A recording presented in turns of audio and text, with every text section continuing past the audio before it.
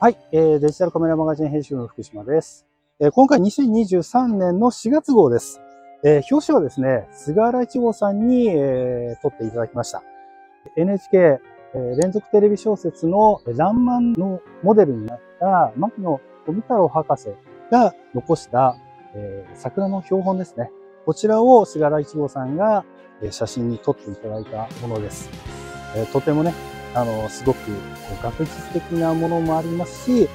アートな部分もあるので、これを今回特集のテーマに合わせてですね、表紙にさせていただきました。中身もですね、ギャラリーとして、えー、牧野博士が残した桜の標本をですね、いくつか、えー、紹介してますし、そうですね、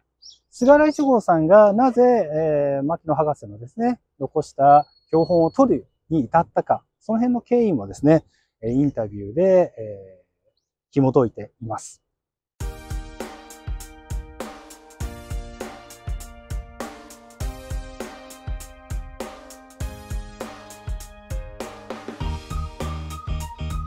東京はですね、4月の14日に、えー、開花宣言が行われましたけども、まだね、都内の方は桜満開というふうには至らないです。大体25日ぐらいが東京の満開予想となっています。で今回はですね、え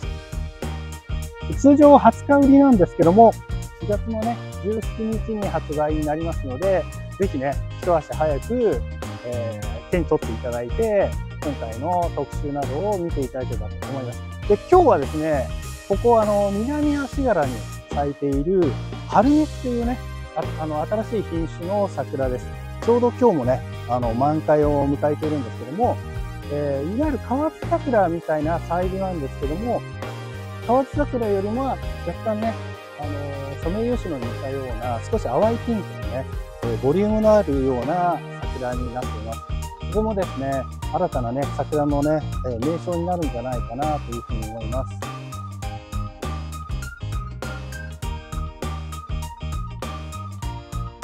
はい、えー、今回のね、特集はですね、桜の超絶技法を Q&A というタイトルにしました。えー、いつもですね、あの、絶景ガイドという形でも展開してるんですけども、デジタルカメラマガジンの人気企画である、え絶景系と、それから技法と、それから Q&A、えー、このね、3つの、えー、特徴的なね、特集をですね、この1つで桜のテーマにして合体させたような特集を組んでみました。まあ、通常は Q&A という形なので、Q が1つに対して、えー、どなどなたかの写真家がですね、その、えアンサーを答えるという形になっていると思うんですけども、今回はですね、まあ、1つの Q に対していろいろなアンサーを個性を出しながら写真家に出してもらっています。例えば、えー、Q1 はですね、一本桜の存在感を引き出す方法はという Q に対して、えー、八木さんの答えであったり、竹野二郎さんの答えであったり、という形で、えいろんな形のですね、え答えを出してもらっています。こんな形でですね、えー、いろんな Q を出してもらっています。例えばリフリフレクションを使った方法であるとか、ちょっとシーズンをね、を過ぎてしまった桜の捉え方とか、桜吹雪をが舞うようなシーンっていうのはどうやって撮ればいいのかとそんな形ですね、いろんな Q を、え、いろんな写真家にアンサーを出してもらっているというような形が今回の、えメイン企画になっています。またですね、えー、中にはですね、えー、米光子さんに、え、桜のギャラリーを出してもらったり、えー、いろんなね、桜をですね、どう現像すればいいかっていう、えー、レタッチのレシピだったり、また被写体とですね、組み合わせた方法っていうのも、えー、中に入っています。例えば、ポートレートと人物とですね、桜を合わせたポートレートの撮り方であるとか、えー、鉄道と組み合わせた場合とかですね、それから飛行機、えー、あと街のね、えー、中で桜とどう組み合わせるかっていう、そう、桜スナップみたいなね、方法も出してもらっています。またですね、今回参加していただいている写真家にですね、え、アンケートを取りまして、例えば望遠と広角であればどっちが好きですかとか、光の方向ですね、順光と逆光だったらどっちがいいのか。順光だとね、花のきらびやかは出せますし、逆光でドラマチックにこう表現したい。でもまあ、どちらもね、本当はあのいいんでしょうけども、よりあの具体的にですね、どちらの方が、えー、写真家にとってですね、作品に仕上げられるかみたいな形で答えてもらっています。重層的にですね、桜の、え特集を組んでみましたので、ぜひご覧ください。で、17日発売なので、こう読んでですね、すぐ、えー、桜の満開のね、タイミングのポジションに行って撮れるように、えー、そういう風にね、仕上げていますので、ぜひですね、ご覧になって、えー、こんな表現ですね、撮ってみたいなというところでチャレンジしてもらえたなというふうに思ってます。またですね、あのー、それぞれね、中に入って紹介してもらっている、えー、ロケーションについては、あのー、以前からね、やっている QR コードも入れてますので、こちらでですね、場所などをチェックしていただければと思います。ボリュームとして非常にね、大きなボリュームになっているので、じっくりね、えー、読みながらですね、えー、ぜひ、ね、ご自身今年のね、桜を撮っていただければと思います。はい。特集にはですね、美しい風景のアプローチです。えー、四季に、えー、のタイミングでですね、この企画を実施してるんですけども、今回春編という形でですね、えー、じゃ今回も4つのテーマに合わせて、風景のね、撮り方を萩原玲子さんに解説してもらっています。まあ、中にはですね、あの萩原俊也さんのね、作品も使いながら、今回も同じように実施しています。で今回のシーンはですね、大花っていう、まあ、春のね、咲く桜ですね。今回の桜の撮り方、それから新緑、えそれから春夏、春に咲くね、花ですよね。それから春雨という形で、まあ、春もね、結構雨が降ったりするので、雨が降った時にどう表現すればいいかっていう、今回も4つのテーマですね、えー、それぞれ解説してもらってます。まあ、前回も、ね、結構好評だったんですけどね、えー、玲子さんが描いた、えー、実際のイラストですね、シーン、こんなシーンですよってイラストも交えながら解説してもらっています。それもね、えー、ちょっとね、楽しく見ることができるので、これもね、実践的なテクニックですごくね、あの活用できるようなテクニックが満載なので、これも、えー、読みながらですね、えー、今回の春のね、社会を撮っていただければと思います。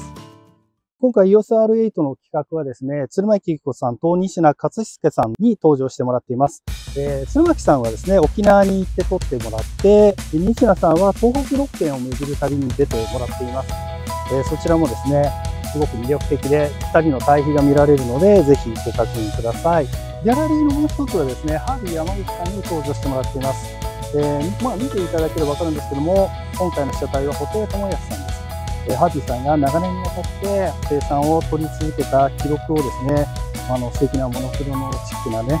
えー、形で表現したものを、えスーパーラボからですね、写真集が出ました。こ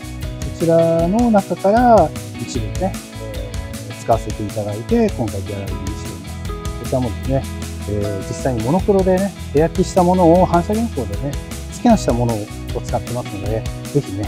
その風合いを楽しんでください。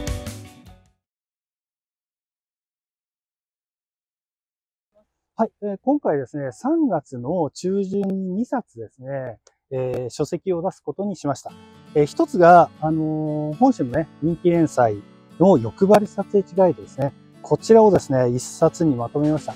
もう256ページのね、大ボリュームなんですけども、今回ね、安倍さんの、まあ、集大成ですね、安倍さんが作りたかったという本をですね、えー、具現化してですね、まさにこう形にしました。で、これはですね、あの、実際にね、現地に持って行ってほしいので、まあ、カバーがね、こうボロボロになっちゃうみたいなこともあると思うんですけど、実はカバーがなくてもですね、本体表紙のカラーでね、吸ってます。なので、これを取っちゃってるんですね。カメラバッグの中にさっと持ち込めるようなね、そんな工夫をしたような内容になっています。もう中はですね、本当にね、55箇所ですね。実に300点以上のね、写真がもう入ってます。256ページですね。もう盛りだくさんです。なので、こちらをね、ぜひ、えー、見ていただいてですね、今年、撮影のね、ルートの一つの目安にしていただければと思います。これ3月の22日に、えー、発売されて、えー、税込みですね、1980円という形で、こんなボリュームなんですけども、かなり安くね、え仕上げてみました。そしてもう一つはですね、これ中原さんの、え、写真のことが全部わかる本です。これ非常にね、人気あって、今までもですね、え、大人気のベストセラーのね、本になってるんですけども、今回ここにあるように完全版としました。で、今回ね、どんな内容になってるかっていうのは、あの、中原さん本人ですね、動画をコメントでいただきましたので、そちらをね、見てください。え皆さんこんにちはスタジオ級の中原です、えー、この度私の書いた写真のことが全部わかる本が完全版となりました。この写真のことが全部わかる本っていうのは、まあ、カメラの気持ちに寄り添って、まあ、カメラの友達になるにはどうすればいいかというところをコンセプトにした、まあ、入門者用の本なんですけれども今回完全版となったということで、えー、今までの内容を全て見返して、え、ミラーレスカメラに、え完全対応させるような形に、え書き換えました。でさらに一番大きいのが、えー、老現像編を大幅に強化しています。えー、初心者が結構つまずきがちな老現像をするために何を考えるべきかというようなすごく基本的なところから、まあ、最新の AI マスクまで。でライトルームで老現像をするための知識を一通り網羅しています。あとは子供の撮り方を新たに収録して結構ボリュームたっぷりの内容に仕上がっています。で発売は、えー、3月23日です、まあ、この1冊で本当に写真を楽しむための入り口から出口まで、まあ、全て網羅しておりますので、えー、ぜひ一度手に取っていただけたらなと思っています。よろしくお願いいたします。じゃあね